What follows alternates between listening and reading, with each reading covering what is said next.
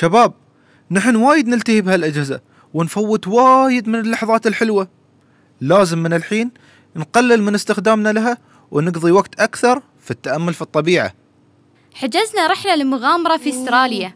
وسالم وعبيد معزومين. الله! يعني كلنا بنروح استراليا؟ شكرا. شكرا! ومتى بنروح؟ الأسبوع الجاي يوم ناصر بيسافر لندن للجامعة. كلنا بنستفيد من الرحلة.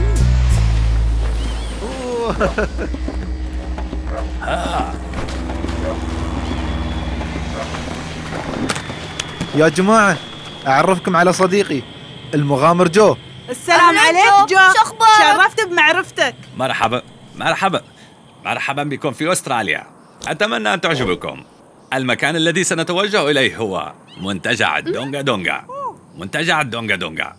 وهو منتجع خمس نجوم. جميل جدا. في عندهم واي فاي؟ عندهم أكل حلو؟ أكيد أكيد.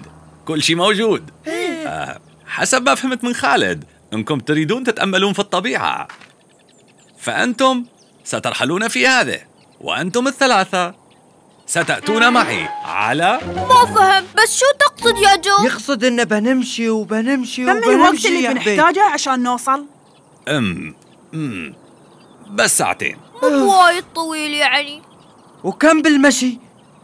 هم تقريبا آه، ثلاث أيام. شو؟ ثلاث أيام؟ ثلاث أيام؟ بس إذا مشينا بسرعة.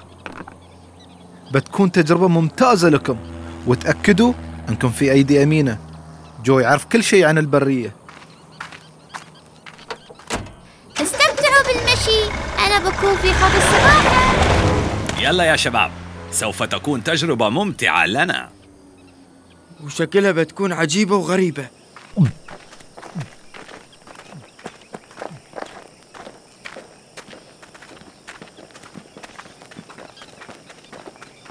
عيشوا اللحظة وحاولوا أن تستمتعوا وتكتشفوا الطبيعة.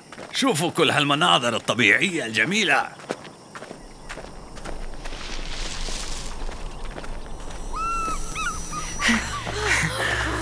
الجو حار صح يا شباب؟ هي نحس بالحر ما رأيكم أن تغطسوا في البركة لتنتعشوا؟ هذا من صدق شو؟ طبعا يا عبيد. انظر. واو! يلا اقفزوا. هذا المكان ممتاز للسباحة.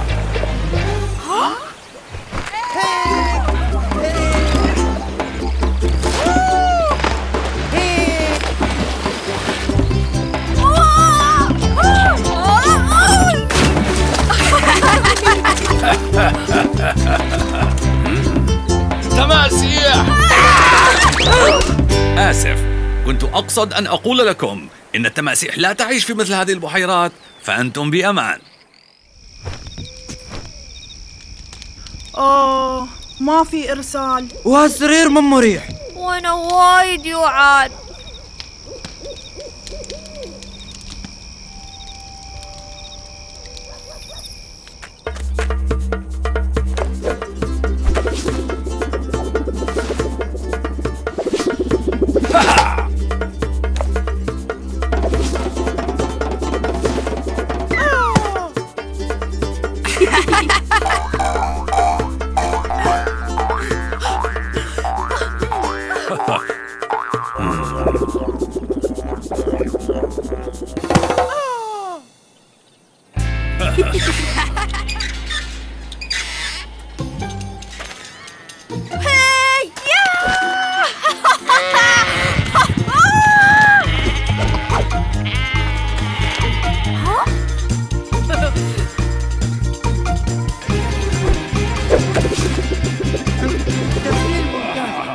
يلا هيا بنا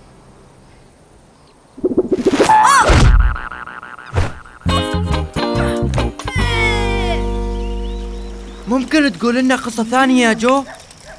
بالطبع. لدي قصة جميلة.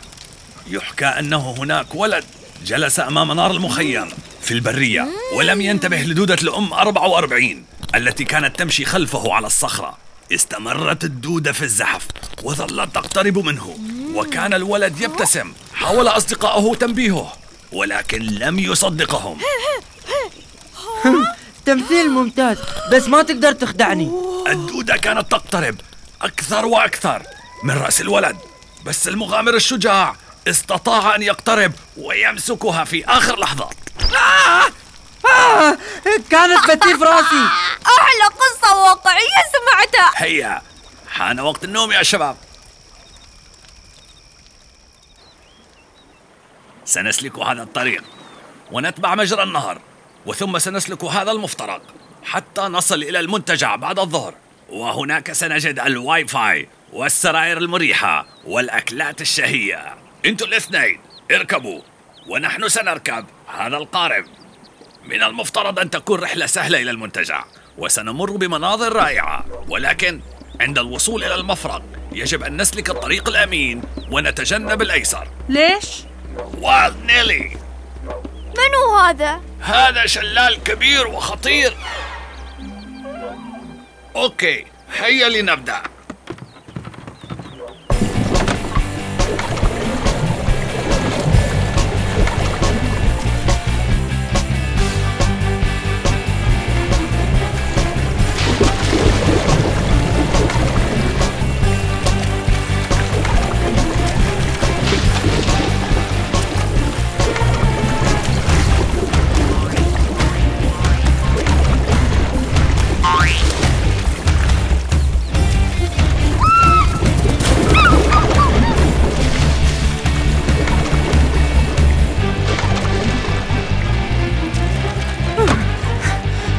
شو مستوي؟ ها؟ عبيد! لا تخلي كل الشغل علي. تراني أساعدك بعد. ممتاز! استمروا بالتوجه إلى اليمين. إذا ما أردتم تفادي شلال النيل الهائج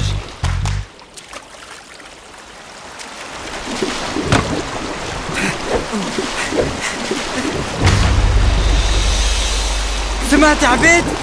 عبيد! جدفوا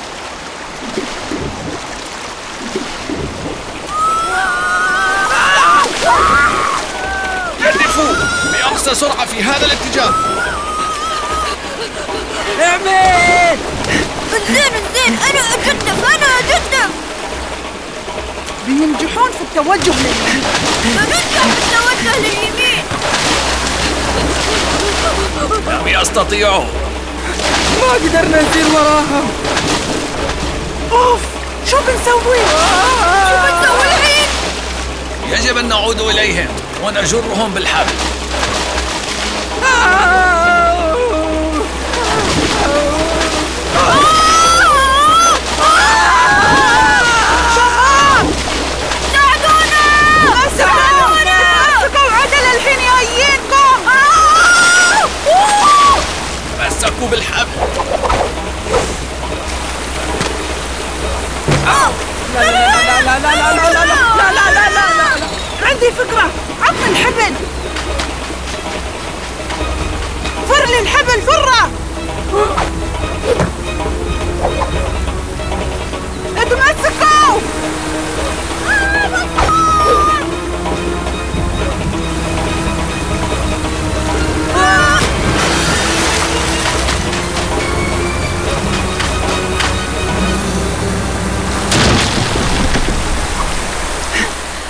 في طول حياتي العملية.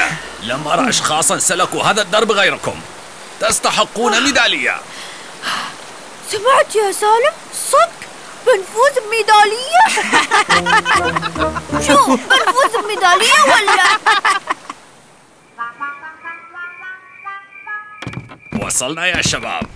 الآن ستجدون الواي فاي والأسرة المريحة والمأكولات الشهية. كان أحسن لو قضينا وقت أطول في البرية. الواي فاي يقدر ينتظر. إيه منو يحتاج سرير مريح؟